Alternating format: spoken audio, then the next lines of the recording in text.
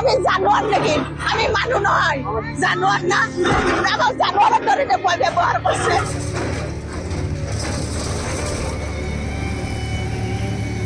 চৰকাৰী ধ্বংসলীলা। নিৰন্তৰ চলিছে বুলডোজাৰ।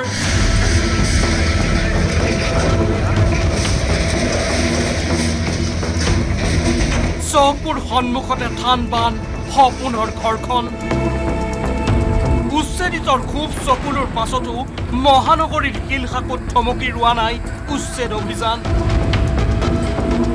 তৃতীয় দিনাও শিলশাকুত চলিল আৰক্ষী প্ৰশাসনৰ উচ্ছেদ। কি ঘৰ বাৰী কি নামঘৰ?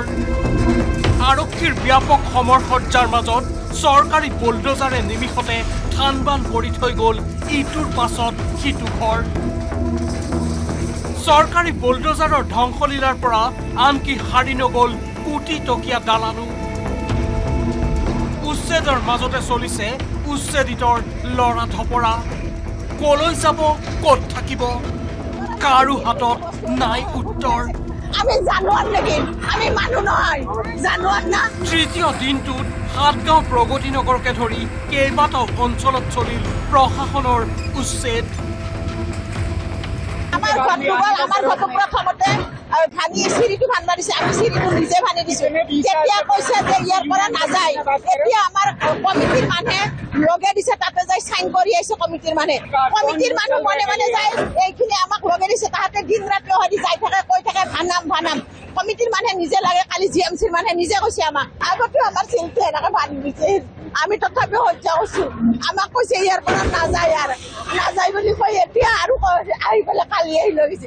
আমি জানোৱাৰ নেকি? আমি মানুহ নহয়। জানোৱাৰ না? আমাক জানোৱাৰৰ দৰে বয় ব্যৱহাৰ কৰিছে।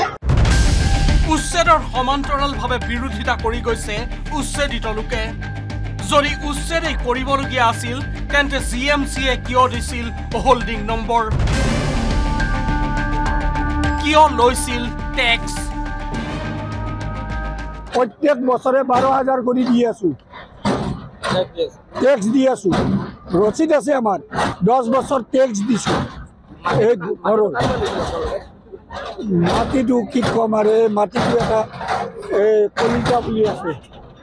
কলিতা হিৰ লোৱা গৈছে মই লৈছিলোঁ দুই লাখে তেতিয়া মই মই দুই হাজাৰ ছয়তে লোৱা উল্লেখ্য যে শিলশাকুত উচ্ছেদক লৈ দীৰ্ঘদিন ধৰি জি এম ডি এ আৰু স্থানীয় ৰাইজৰ মাজত চলি আহিছিল সংঘাত জি এম ডি এৰ অধ্যক্ষৰ মতে শিলশাকুৰ এশ দহ বিঘা মাটিত চলা এই অভিযানত উচ্ছেদ হ'ব দুশটা পৰিয়াল